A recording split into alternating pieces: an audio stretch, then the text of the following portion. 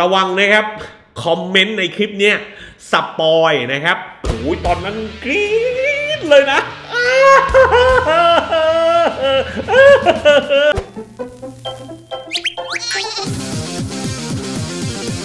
สวัสดีครับผมยินดีต้อนรับเข้าสู่หนอนหนัง channel นี่มีท่าด้วยดีไหมหนอนหนัง channel สมัยก่อนไงเราดูรายการโทรทัศน์มันก็จะแบบว่า เวลาเปิดรายการจะมีท่าแบบว่า ปูกันแบบปูเนี่ยนอนหนังชาแนลไม่รู้จะทำยังไงดีนอนหนังนี้ไหมวันนี้เป็นความรู้สึกหลังดู EP แรก What if ปกติแล้วเนี่ย ผมจะพูดความรู้สึกแบบจบเรื่องไปก่อน แล้วค่อยมาพูดความรู้สึก แต่แบบอยู่ดีๆก็นั่งเว้ยทบทวนความคิดตัวเองแล้วแบบว่าทำไมต้องทำแบบนั้นทำไมอะทำไมต้องรอดูให้จบซีรีส์แล้วค่อยมาคุยอะ ดู EP แรกก็มาคุยเลยไม่ได้เหรอ คันปากด้วย ไอ้ที่ก็ เออ มาคุยกันเลย จบ EP แรกแล้วมาคุยกันก่อนว่ารู้สึกกันยังไงบ้าง ตอนเนี้ยผมดู EP แรกจบผมมีความรู้สึกว่าอะโอเค EP แรกนะ มันก็ไม่ได้แบบดูเด็ดเผ็ดมัน หรือตื่นเต้นมากมาย มันก็เริ่มต้นนะเออแต่อย่างน้อยก็แบบได้ดูแล้ว อย่างนั้นก็ได้ดูแล้วไอ้เหี้ยรอนานชิบหาย ก่อนหน้านี้มี Matt Damon ที่ออกมาพูดประมาณว่าเป็นห่วง เป็นห่วงจังเลย ไม่อยากให้วงการภาพยนตร์ มีหนังซูเปอร์ฮีโร่แล้วจะต้องมาแบบอยู่ในยุคที่สตรีมมิ่งออนไลน์มาแรงขนาดนี้อืมเข้าใจเข้าใจความรู้สึกของ Matt Damonและเข้าใจมุมมองของ Matt Damon อยู่ เพราะว่าการมาถึงของสตรีมมิ่งออนไลน์ มันทำให้คุณค่าของภาพยนตร์มันลดน้อยลง หนังมันดูเข้าถึงง่ายก็จริง แต่ว่าคุณค่าในงานศิลปะ ที่เรียกว่าภาพยนตร์แต่ละชิ้นงานมันก็แบบลดน้อยลงอันนี้ถูกต้องแต่มันก็ผมมองว่ามันก็ได้อย่างเสียอย่างว่ะ มันเหมือนกับเรากำลังพูดถึงยุคที่ยุคสมัยที่คนแม่งแบบฟังเพลงด้วยแผ่นเสียงอะหรือถ้าเป็นภาพยนตร์ผมโตมาตอนเด็กๆเนี่ยผมเก็บม้วนวิดีโอมาก จริง ๆ ตอนนี้ก็มีความฝันนะ ว่าอยากจะเก็บหนังที่เป็นม้วนวิดีโอเลยนะ ที่มีอิทธิพลกับเราที่มีประสบการณ์ชีวิตร่วมกับเราตอนเด็กๆ แล้วเก็บในตู้แล้วแบบว่าเป็นชั้นสักชั้นหนึ่งเลยแต่ม้วนวิดีโอเก็บรักษายาก คือผมกำลังจะบอกว่ามันก็เหมือนยุคสมัยก่อนนั่นนี่แหละที่เราดูหนังเราจะต้องออกไปร้านเช่าวิดีโอ แล้วไปไปเช่าม้วนวิดีโอเนี่ยมา แล้วก็ใส่แล้วก็ดู ดูจบปั๊บก็ต้องกรอเอ๊ะเครื่องกรอจะเป็นรถรถใช่ไหมใส่ปุ๊บแล้วก็ปึ๊ดแล้วก็กรอหือพอเสร็จก็ต๊อก แล้วก็เอามาดูใหม่อีกรอบหนึ่งได้ บางครั้งเช่ามาปั๊บเปิดมาปั๊บเอ้าไอ้เฮียคลายแม็กเลยสปอยตัวเองเลยไอ้เฮียร้านไม่ได้กรอ คนก่อนหน้านี้ไม่ได้กรอมาส่งไอ้เฮียแม่งมึงยังยังไงวะมึงดูรอบสองแน่เลยเฮียแม่งค้างอยู่กลางเรื่องอะไรเงี้ยแม่งตอนนั้นจำได้เลยแม่งหัวเสียมากแต่ว่ามันก็เป็นประสบการณ์การดูหนัง ในยุคสมัยหนึ่งเราเคยสัมผัสอย่างนั้น แล้วเราก็โตมา เราก็ผ่านยุคสมัยมา ไปเจอในช่วงยุค DVD ยุค Blu-ray ปัจจุบันก็เป็นยุคสตรีมมิ่งออนไลน์ ผมมองว่ามันเป็นยุคสมัยมากกว่า ผมมองว่าตอนเนี้ยสิ่งที่เกิดขึ้นเนี่ยเป็นเพราะโควิดมากกว่า คือถ้าไม่มีโควิดเนี่ยอุตสาหกรรมภาพยนตร์เนี่ยมันจะไม่ซบเซา มันจะไม่เลวร้ายขนาดนี้เว้ย จริง ๆ เพราะฉะนั้นสิ่งสำคัญที่ทำให้อุตสาหกรรมภาพยนตร์ มันซบเซาอยู่ขนาดนี้คือโควิด แต่เอาจริงๆในต่างประเทศเขาก็เริ่มที่จะแบบรับมือนะ รับมือกับโควิดได้บ้างแล้วแหละ มีแต่บ้านเรานี่แหละที่เอ้ยเอ้ยมันอะเรื่องนั้นข้ามไปนะครับ เรารู้กันดีนะ เป็นคนไทยนะ เรื่องพวกนี้แม่งแค่แบบ เราถอนหายใจเฮ้ยเราก็รู้แล้วนะครับว่าเรากำลังประสบกับอะไรอยู่ เพราะฉะนั้นอะข้ามเรื่องนั้นไป วันนี้พูดถึงความรู้สึกของที่ What If EP แรก EP แรกผมรู้สึกว่า อะเริ่มต้นได้โอเคนะครับผมผมไม่ได้ตื่นตาตื่นใจกับ EP แรกเท่าไหร่นะเอาจริง เพราะว่า EP แรกมันก็ดูแล้วเหมือนกับว่า nostalgia เออ nostalgia นะครับซึ่งจริง ๆ ผมมองว่าไอ้ความ nostalgia อย่างเช่นแบบ scene ที่มันแบบเห็นปุ๊บนึกถึง Captain America ปั๊บแล้วเราก็รู้สึกโอ้โห nostalgia เออคิดถึงชิบหาย เพราะว่าณปัจจุบันเราผ่านเหตุการณ์ที่เราสูญเสียกับตันอเมริกาไปแล้วเนาะ เออเรามาเห็นปั๊บเราก็รู้สึก โอ้โหแม่งคิดถึงที่หมายเลย ยิ่งตอกย้ำเลยว่าเราอยากให้คริสอีแวนที่เป็นกัปตันอเมริกานะครับ กลับมาในจักรวาล MCU อีกครั้งหนึ่ง ซึ่งเรื่องพวกนี้ก็ ณตอนเนี้ยมันก็เหมือนฝันที่นักดูหนังอย่างเราเรานะ ก็ฝันหวานฝันกลางวันกันไปก่อน แบบรับเชิญสักภาคอะไรอย่างเงี้ยผมว่ามีโอกาสเป็นไปได้แหละนะอันนี้คือเป็น เขาเรียกอะไรเป็นความความฝันเราพูดอย่างนี้แล้วกันความฝันของแฟน MCU แล้วกัน ที่แบบอะไม่มาเต็มเต็มๆก็อย่างน้อยมามาแจมแจมๆสักภาคหนึ่งแจมแจมๆในหนังสักภาคหนึ่งไม่แน่นะ อีกหน่อยมียังอเวนเจอร์สแล้วก็จะมีโทนี่สตาร์กลับมามีอ่ากัปตันเมริกากลับมา โอ้โห ตอนนั้นกรี๊ดเลยนะ ถ้ามาแบบนั้นนี่คือแบบเลยนะ แต่ว่าตอนนี้สิ่งแรกนะ ที่ผมดูปั๊บแล้วผมเอ๊ะตั้งหิดตั้งหิดก็คือผมรู้สึกว่า เอ๊ะทำไมเสียง Captain America Steve Rogers Steve Rogers พูด Captain America ไม่ได้ เพราะว่าในวั t อีฟเนี่ย มันมี Captain Carter ถูกไหมมันไม่ได้มี Captain America ในไทม์ไลน์เนี้ย Steve Rogers เนี่ยเสียงมันแปลกๆเว้ย ตอนแรกอะ่ะ ผมก็ว่า เอ๊ะ คริสอีแวนส์พากย์ปะวะ แต่คิดไปคิดมาก็เอ๊ะคริสอีแวนส์เขาก็หมดสัญญาหมดอะไรไปแล้วนี่ ตามข้อมูลที่ผมไปหามา นี่ผมดู list รายชื่อจาก IMDb นะครับ นักแสดงหลายๆคนนะครับก็ให้เสียงในตัวละครเดิมกับตอนที่เขาแสดงอยู่ อย่างตัวละครเพ็กกี้คาร์เตอร์ก็เป็นเฮย์ลีย์แอตเวลล์เหมือนเดิมนะครับนิกเฟอร์รี่ก็เป็นซามูเอลแจ็กสันนะครับคลินต์บาร์ตันก็เจเรมี่เรนเนอร์บัคกี้บาร์นส์ก็ยังเป็นเซบาสเตียนสแตน นะครับแล้วใน IMDb เขายังลงไว้อีกนะว่าแชดวิกโบสแมนเนี่ยเออเขาลงเสียงเอาไว้ใน What If เหี้ยเสียดายเหมือนกันนะ แม่งแบบแชดวิกโบสแมนนี่เป็นคือจำได้เลยอะตอนที่ ดู Black Panther ตอนนั้นน่ะ ผมรู้สึกว่าโอ้โห MCU cast ดีชิบหาย พูดกี่ทีก็เหมือนแม่งอวย MCU ไอ้เหี้ยเราพูดตามความจริงกันนะ ว่า MCU แม่ง casting ดีจริงๆ แล้วผมรู้สึกว่าแชดวิกโบสแมนไอ้เหี้ยเราให้ใจแล้ว ให้ใจแล้วว่าแชดวิกโบสแมนเนี่ย คือทีชาล่าคือ Black Panther ของพวกเราอุ้ยแม่งกีดครานกันโอ้ สนุกมัน แต่สุดท้ายแชดวิกโบสแมนก็มาโหแม่งมาเขาก็เสียชีวิตไปซะก่อนนะครับผมแต่ว่าเนี่ยใน IMDb ยังลงข้อมูลไว้ว่า ตัวละครทีชาล่าที่เป็น Star Lord เนี่ยนะครับจะเป็นเสียงแชดวิกโบสแมนเออ อันเนี้ยเดี๋ยวเราก็ต้องไปเช็คกันดูจริง ๆ นะว่าเป็นเสียงเขาจริงๆไหมนะ ตอน EP 4นู่นเลยนะ แต่ว่าไอ้เหี้ยรู้แบบนี้แล้วเหมือนกับ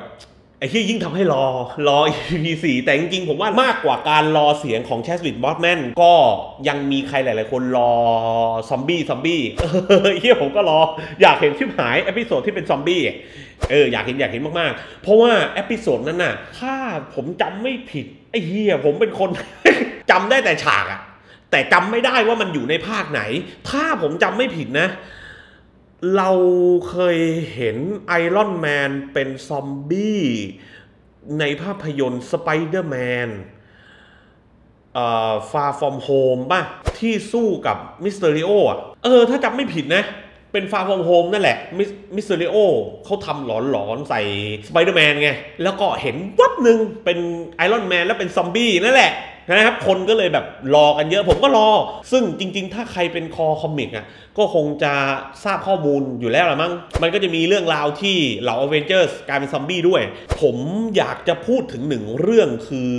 เรื่องงานภาพของตัวผู้ว่าแอนิเมชัน ตัวนี้นะครับ จริง ๆ เทคนิคแบบนี้มีอยู่ช่วงหนึ่งที่ผมสนใจมาก แล้วผมพยายามหาคำตอบมากมายนะครับ ว่าเขาทำยังไงให้มันเหมือนเป็น 2D และ 3D ผสมกันเออใครเคยสังเกตบ้าง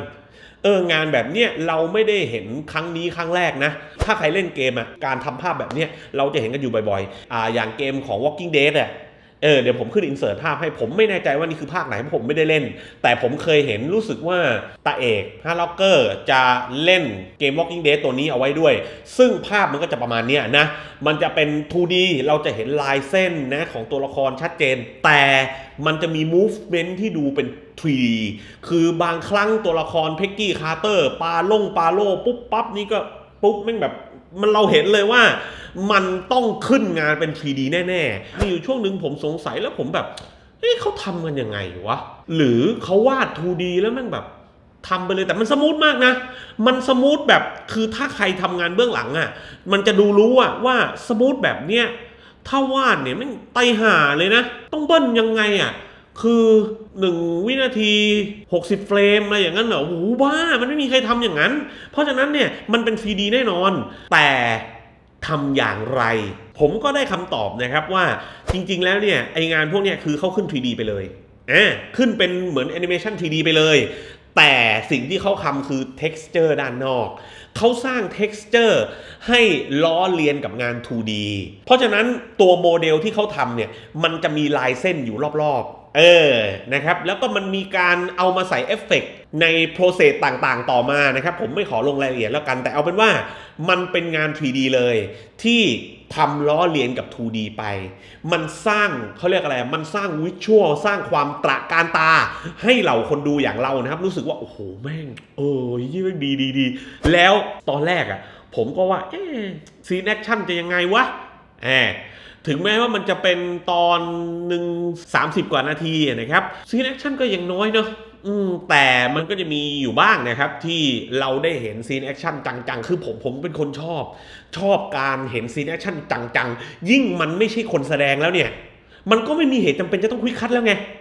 ใช่ไหมมันเป็น 3D แล้วว่ามันเป็นงานแอนิเมชันแล้วว่า ไม่มีเหตุจำเป็นและที่จะต้อง cutting ช่วยนักแสดงนู่นนี่อะไรอย่างเงี้ยมันได้เห็นยาวๆได้เลย ซึ่งมันก็มีบ้างแต่ยังยังสำหรับผมก็ยังน้อยไปนะครับผมจริง ๆ ผมอยากเห็นช่วงยาวๆมากขึ้น มันจะมีหลายครั้งนะที่แบบปาปั๊บเห็นโล่จากมือฟุบแล้วก็รับเท้ารับรับรับรับรับรับอะไรเงี้ยผม แอนิเมชันจริง ๆ cut ให้น้อยกว่านี้ได้อีกนะ แต่เขาก็มีนะที่แบบว่ามีบางช่วงบางช็อตที่เอ้ยเห็นยาวๆ เห็นเพ็กกี้คาร์เตอร์สู้แบบป่าบุ้งบุ้งบิงบังบุ้งบุ้งโอ้เออโอเคดีดีดีแต่โดยรวมเนี่ยผมรู้สึกว่ายังธรรมดาไปหน่อย แต่ก็ยังให้อภัยได้นะ เพราะมันเป็น EP แรกไงเออ EP แรกมาดุเดือดเลยมันก็แบบ ไม่ได้มีเหตุจำเป็นที่จะต้องแบบโอ้โหดุเดือดเลือดพล่านกันใน EP แรกขนาดนั้น แต่เอาเป็นว่าสิ่งหนึ่งที่ชอบคือ EP แรกจบไว้ดีเออ EP แรกจบไว้ปั๊บเราโอ้โหแม่งระหว่างทางเราก็ nostalgia นะเราก็เห็นนู่นนี่ nostalgia เราก็คิดถึงคิดถึงคิดถึงคิดถึง แม่งเห็นนู่นก็คิดถึง เห็นซีนที่รถไฟอะที่เป็นหิมะแม่งก็คิดถึงไอ้เหี้ยซีนนี้เป็นซีนที่จริงเป็นซีนที่ผมชอบนะ เออ เพราะว่าซีนนี้ตอนนั้นจำได้ว่าเป็นซีนที่ตอนที่เราดูครั้งแรกอะตัว Bucky Barnes ยังเป็น